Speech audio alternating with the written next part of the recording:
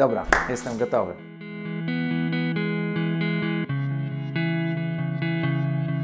Wiele osób, myśląc o uczniostwie, utożsamia to tylko i wyłącznie z byciem w kościele.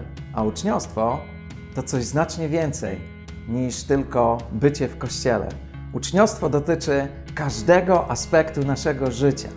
Dotyczy zarówno tego czasu, kiedy jesteśmy sam na sam z Bogiem, w rodzinie, w domu, w pracy i w kościele. Uczniostwo dotyczy całego życia. Więc jeśli miałbym udzielić jakiejś rady komuś na temat uczniostwa, to to, aby nie zawężać tego tylko do jednego wymiaru, bo uczniostwo zmienia całkowicie nasze patrzenie na życie i relacje wokół nas.